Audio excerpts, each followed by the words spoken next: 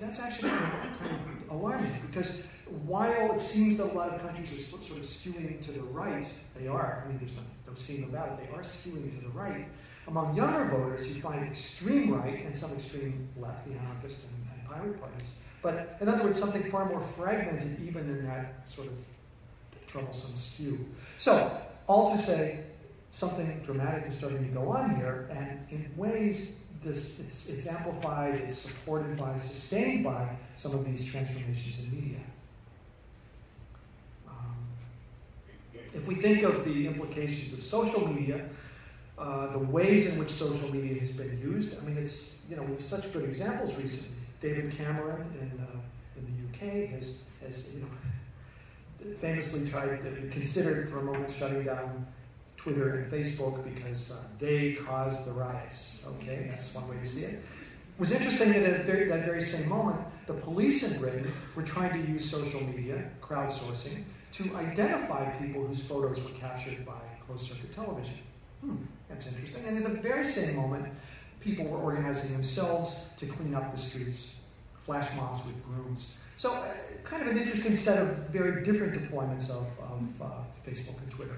If we think of the, the Arab Spring, or even the Icelandic constitution, there's a new constitution in Iceland that was not yet passed by parliament, but it was constructed in, in part by using baseball. And it was a way for the public to really react to different parts of it. So again, an interesting set of um, a set of examples that point to the interesting implications, real world implications, of what is an increasingly uh, socially enabled set of, set of uh, connections.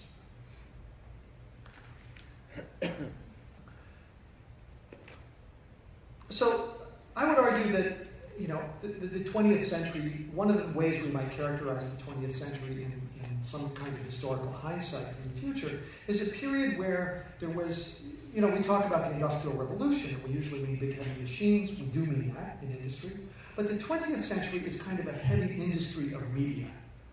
The centralization of the press starts to occur in the late 19th century. The film medium consolidates relatively quickly, let's say by the, by the, by the mid 19 teens, although with the French, there's already a global market in place by, uh, uh, before, the, before the First World War. The coming of the radio and recorded sound industries, again, consolidate the acoustical space, draw it together, uh, industrialize it. Uh, television, when it comes, does much the same thing. So our culture, and if you, and if you look at the, at the corresponding changes in our copyright laws, I mean, I can point to, to the US, for example, where copyright, when it begins in the 18th century, is a 14 year limit. And you can double, you can extend it one time. 28 years maximum. And that's in a period when it took, you know, 28 months to, go from, that's not quite true, but when it took a lot of time to go from one side of the country to another, but potentially months. So, very slow transmission speeds, very short copyright terms. And if you think where this industrialized uh, uh, culture industry has been able to put us in terms of copyright, we're talking you know in excess of 100 years right now, um, much more in excess. So, all to say, these industrialized media forms, these industrialized cultural forms, sucked much of the oxygen from the room during the period of their dominance. They are still dominant, of course. But we can see the fault lines, we can see the fissures, we can see the, the instability in these industries. The recorded sound industry is a good example. There's been a lot of there's a lot of soul searching in that industry right now about what its future will be. Uh, the other media sectors are watching very carefully. There's been a rapid reorganization of media so that recording no longer stands alone, but is related to television and film and print as the, as the corporations have, uh, have extended their reach. So I don't want to say that this age of, of the heavy industry of culture is over, but we're seeing some very interesting fragmentation. That's what I do want to say. And I want to say that we're at a moment of transition, potentially at a moment of transition. I don't want to sound apocalyptic, and what I may say in a few minutes will perhaps sound that way, because we need to appreciate the tremendous momentum that this industrial order has, has, uh, has that it, it has momentum. It, it's constructed a way, it's, it's given us a way of thinking, a way of ordering the world that isn't just going to disappear with wishful thinking or even new technologies. Um, it's in our economic framework, our capitalist economy. It's in our copyright laws. It's in our minds and our expectations. So, what I'm going to say rubs against this. It goes in a different direction. But why, you know, why things haven't magically transformed is because of the sheer weight of this industrial order. It's funny how quickly we forget that before the 20th century, most cultural forms, most mass cultural forms, were bottom up in construction. Things that, that we would call folk music, folk literature, even religion to some extent. Things like even, even, even micro events like uh, quilting parties. These are all things that were participatory in nature. These are things that people did together. These are things without uh, uniform authorship or copyright. I mean, I guess there's some contestation over the, the right version of the Bible, but even that's a very collaborative uh, document produced over time by many different authors. So if we think about, about these cultural practices, um, actually we can see that for, for, for the history of humanity up until this industry occurs at the end of the 19th century, starting the 20th, we have done it ourselves. We have joined together collaboratively, collectively. Yes, there are authors. Of course, there's authorship. We know about Bach uh, writing his own music, and we know about Dickens writing his books. That's certainly the case. But by and large, the culture that most people had um, is a culture that came from. And it's interesting to me that this kind of cultural practice, at least in English, we, we use the word folk in front of it. Uh, folk literature, folk music. Um, folk meaning the people's, not about people's music and the people's literature, not such a bad thing. But we've, we've resigned it to the domain of anthropology. We look at it as a kind of curious pastime that people have, not in the domain of great art, by and large. And yet, with the kind of affordances I just talked about, with increased transmission speed, with, with you know, this ever doubling of, uh, of transistor capacity, with the kind of networking environment that we have, some very dramatic participatory acts, social acts, social cultural practices are beginning to appear. I don't know if any of you, some of you I'm sure know about this, the, the SETI uh, program. Um, this, this is a, a search for actually intelligence in outer space.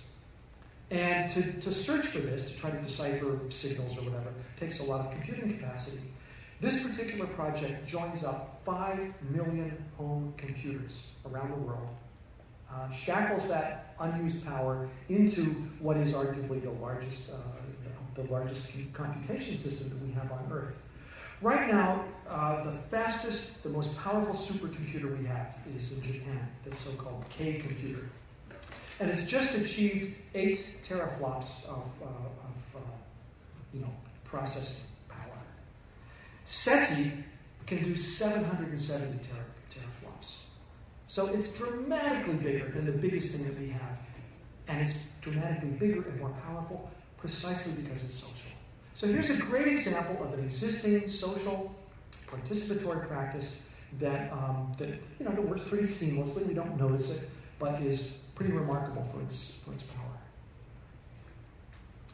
If we think of, um, I mean, the wonderful book, the wonderful work of Yochai Benkler, uh, at Harvard, The Wealth of Networks, tracks this argument out in great detail. But the relationship between economics and politics, uh, especially when we think about changing models of ownership, and Creative Commons or open source are great examples of this, make interesting things happen. Firefox is a terrific browser. Um, Linux, uh, the little graph there shows Linux is yellow, shows its share of the supercomputer market. I mean, it's over 90% share. Why? Because these kinds of operations put their energy into solving problems and making good ideas. They mutate very quickly. Unlike Microsoft and unlike Apple, these kinds of operations don't put their money into encryption, they put their money into progress. They don't put their money into lawyers and lawsuits, they put their money into making the product better and morphing it with the advantage of a lot of different people's contributions. So this is another sign of a kind of, of a cultural turn that runs against, in some ways, the, the logic of the, of the centralized heavy industry of culture, even though you can see by the yellow graph that it's also opportunistically used by that culture. Another way that if you want to think about the, the, the social, uh, the, the, kind of social enablement uh, and that, that, we've, that we've made use of, again, thanks to the infrastructural things I've just mentioned, things like um, tagging. Uh, Flickr, um, you know, you can say a lot of things about Flickr, but one of the really brilliant things about it is the fact that, that it, it makes good use of social tagging. I can give any, I can associate any attribute I want to a photo, and I can search for any attribute I want. And, you know, um, I mean, yesterday we heard about, I think, the great project, the, the, the virtual art database, but you can see that that database has, the, in a certain way, the dilemma that many contemporary archives have. Basically, it's, it's, it's driven by expertise. It's selective. It's only about 500 artists, not about 5,000 that it could be about. It uses a selected list of metadata that lets people make that association. And that's fine. That leads to a very stable system. It's what most archives do. It makes good sense. But we can see with things like Flickr and, and you know, a bunch of other apps on, on, online that actually social tagging offers some, something quite different. It offers far greater nuance. Whatever people think something means is what it means to them. So let's, let's let them say that and let, it, let them find things that way. It's actually far more historically responsive. When interests change over time, social tagging also keeps up with that and changes. It's an unruly system, it's a chaotic system, but in the aggregate, it's an incredibly effective system. And, um, and, I think it's, a, again, a culturally responsive system. And it does something else.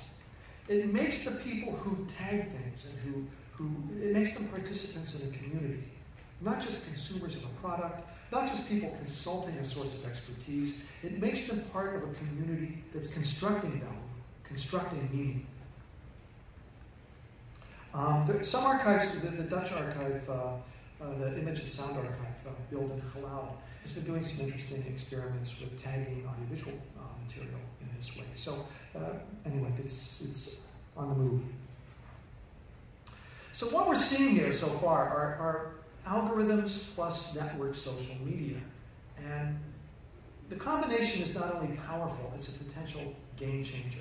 Um, and you can see some examples here of stuff that I think raises very real questions about, about labor and about value. Um, live music, some of you might have seen the Mass Animation pro uh, Project, where animation was, was crowdsourced effectively, but it's kind of a Sony product in the end. It's kind of interesting how, how the, the it has the look of something that Pixar might have made. Not, not, not to say that's anything wrong with that or it's evil, but it's kind of an interesting attempt to corral and direct the social. Uh, InnoCentive, you know, lets people put out bids for great ideas and let's and let's you know members of the public crowdsource, hopefully for a little piece of the profits if there are any. the Netflix prize improved their algorithm 10%, their prediction algorithm in a certain way. You can see that's a good or a bad thing, I guess. Depends whether you like prediction algorithms. Um, kind of an insidious thing, I would say. But, you know, crowdsource that, that task, uh, gave a million dollar prize to the, to the AT&T team that, that won it. So these are examples that I think raise an ambivalence about this. And I would say the ambivalence, at least in, in my mind, is in two sectors. It's in, in the question of um, of the, the nature of labor in a, in a still capitalist culture. Um, collaborative energy and collaborative work is great, but the, you know, but on the other hand, it shouldn't turn a profit for someone else. One would one would think. Um, and value. Where does value come from? What are the values of belonging to a community versus producing something that makes uh, profit? Anyway, all to say that these these like any tool, algorithms, combined with this kind of infrastructure I've just described, um, can be used for many reasons and by many agencies and for progressive or repressive means. But we're at the start of something whose implications we're just beginning to understand. And that's, and that's really um, what I'd like to do is, is kind of step back. I'm a historian by training, and um, just step back a little bit and think, well, okay, we've seen a bunch of detailed examples in our world. A lot of you probably use them even. So what's it mean? Why is it so? Why am I saying it's so dramatic? Uh, basically, I'd say this: that even though the algorithm is an ancient uh, discovery, we're still in very early days of its actual deployment. its robust